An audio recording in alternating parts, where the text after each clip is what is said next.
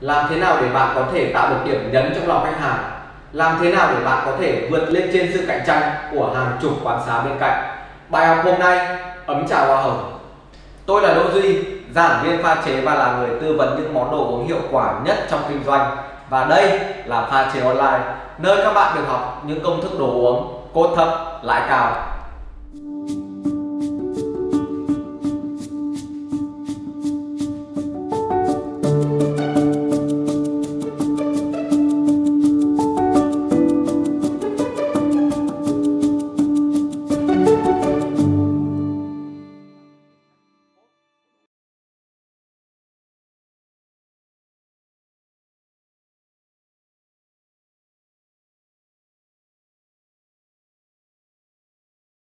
Bước 1. Làm nóng dụng cụ.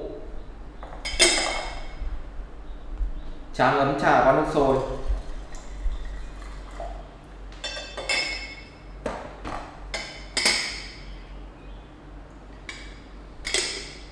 Đổ nước.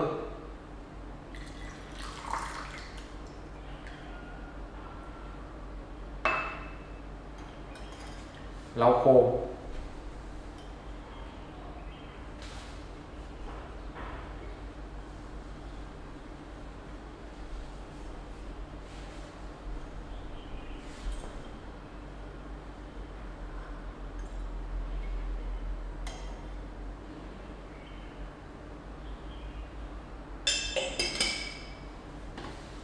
Hoàn thành bước 1 Bước 2 ủ trà và tạo vị. Cho 10 bông hoa hồng vào ấm.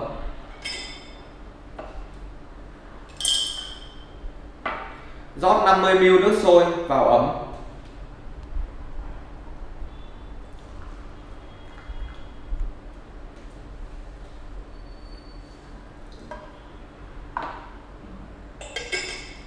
Ủ trong 30 giây.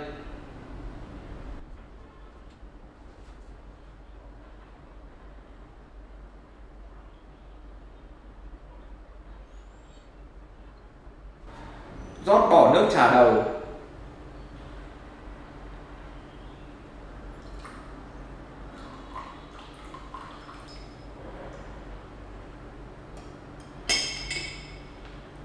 Rót 450ml nước sôi vào ấm.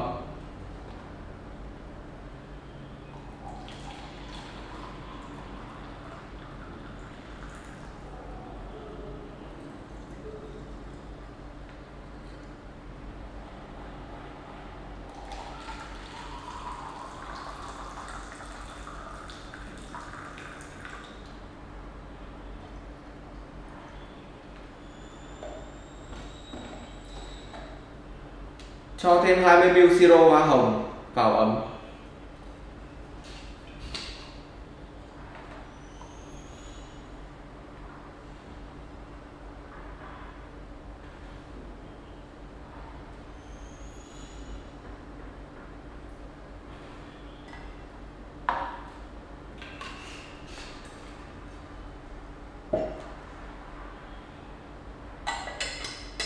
Hoàn thiện bước 2 Bước 3. Phục vụ Phục vụ kèm nến Đế Và chén trà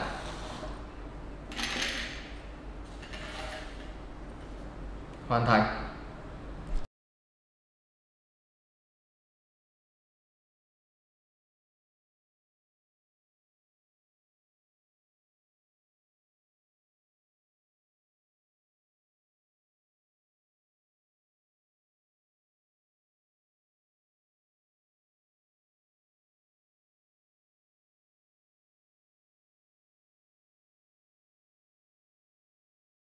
Bước 1. Làm nóng dụng cụ.